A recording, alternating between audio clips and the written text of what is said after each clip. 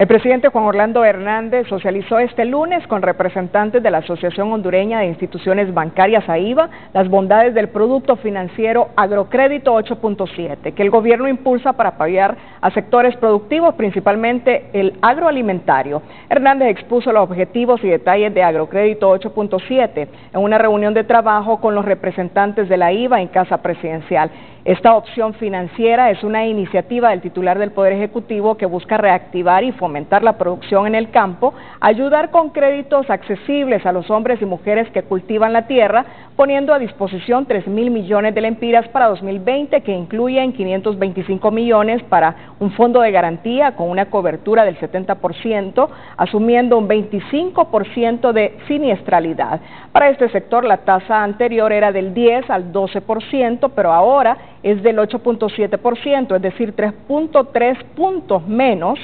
muy por debajo de la que presta el sistema financiero privado.